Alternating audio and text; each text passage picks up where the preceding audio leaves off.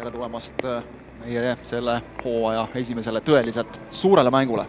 siin äh, Maarjamäe vihmasajus avavad kohe vastamisi minemas Levadia ja Nõmme Kaljuni õige pea Premium-liiga suurimale väravakütile Rimo Hundile õiguse see pall mängu panna ja siit ta läks ning kiirelt vaatame üle ka koosseisud, enne kui esimesed ära lüüakse.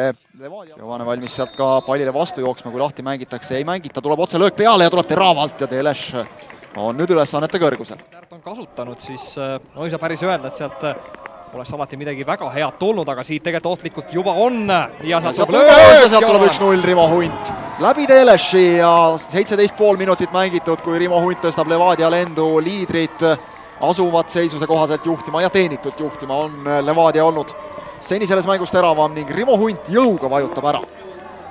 jah, paremalt järelt hakati vaikselt jah, on, on probleem olnud ja seitse, seitse väravat on Kalju lasknud lüüa endale, nii et äh, sealt on tulnud, nüüd äh, saab siit jälle Hunt lüüa ja ette post, aga selle võtab nüüd, et äh, klassivahe oli see, mis Levadia kasuks selle mängu vallutas, kui kauglöök, aga mööda no, lendab. eks siis järelikult keegi liigub no, tema järele. Kirss äärel, ma arvan.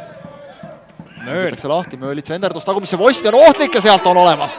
Ja sealt on olemas, nii et nüüd Kalju ikkagi standarditest pöörab enda kasuks selle ja Valikajev lööb üks-üks.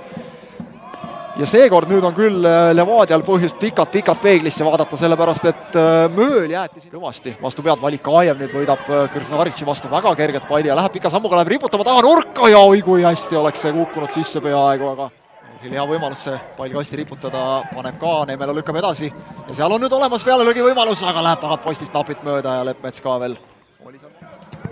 Kopsar laseb selle palli mängu ja kui sealt kohe ei tule, siis on kõik, lüüakse puhtaks ja Tarajev vaatab kella ja vilistab ära ja üks-üks viigiga see kohtumine ka lõpeb ning julgeks küll öelda, et see oli, see oli õiglane tulemus.